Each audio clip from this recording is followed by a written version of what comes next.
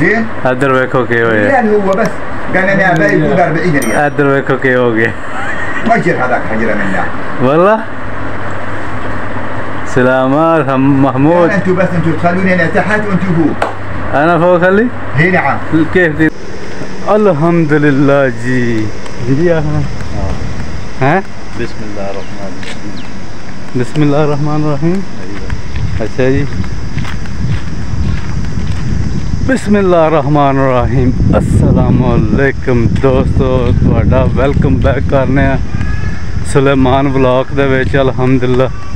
ਤੇ ਅੱਜ ਜਿਹੜਾ ਨਾ ਅਸੀਂ ਗਏ ਵਾਰਾ ਗਰਦੀ ਤੇ ਫਿਰਨ ਟੁਰਨ ਗਿਆ ਅੱਜ ਘਰ ਪਕਾਉਣ ਤੇ ਦਿਲ ਨਹੀਂ ਕੀਤਾ ਹੈ। ਤੇ ਗੋਸ਼ਤ ਪੱਕੇ ਆ।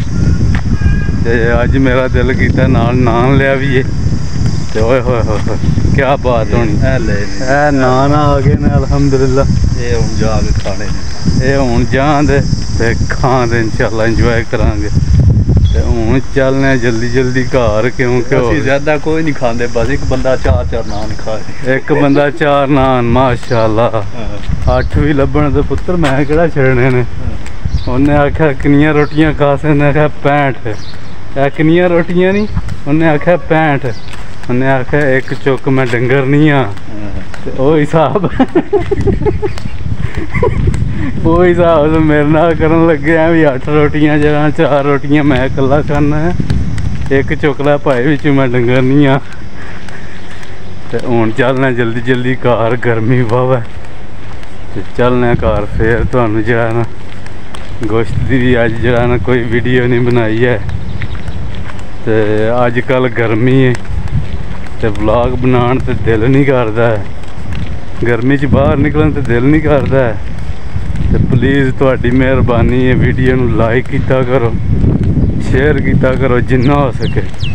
ਸਾਨੂੰ ਵੀ ਥੋੜੀ ਜਿਹੀ ਸਪੋਰਟ ਕਰ ਖੜਿਆ ਕਰੋ। ਅਸੀਂ ਹੁਣੇ ਪਹੁੰਚੇ ਆ ਘਰ ਤੇ ਹੁਣ ਜਿਹੜਾ ਹੈ ਨਾ ਖਾਂਗੇ ਇਨਸ਼ਾਅੱਲਾ ਰੋਟੀ।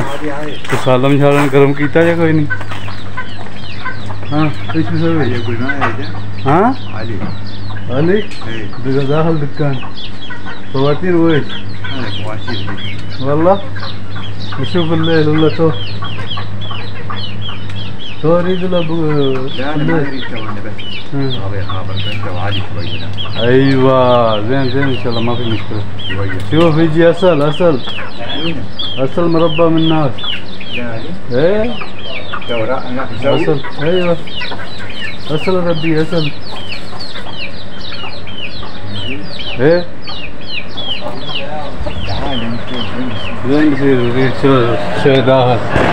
माशाला जी रोटियाँ थोड़ियाँ गई ने आ मियाँ साहब।